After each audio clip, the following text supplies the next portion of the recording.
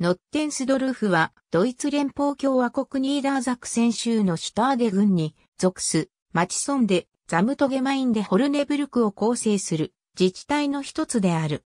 連邦道 B73 号線沿いに位置する。この集落の周囲は主に高地、草地、放牧地、森や荒れ野である。ノッテンスドルフは1270年に初めて文献に記録された。ただしこの文書は行方がわからなくなっており、この町の名前が記された現存する最も古い資料は1303年の記録である。ノッテンスドルフは昔から1960年頃までは純粋な農村であった。第二次世界大戦末期の破壊により町の様子は大きく変貌した。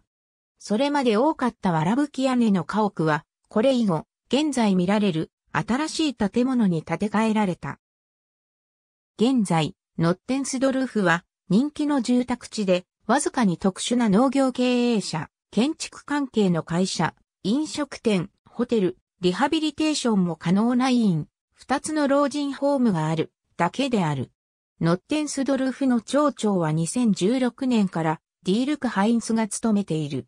ノッテンスドルフの町議会は11議席からなる。この町の紋章は銀地に3本の赤い炎である。ノッテンスドルフの調整当局は1948年からこの紋章を採用している。デザインはフリッツハースである。1932年にハンスムフの墓と記念碑が作られた。大きな岩にハンズマッチ1880から1932と刻まれている。ムフの棺は大きな岩の死種に安置されている。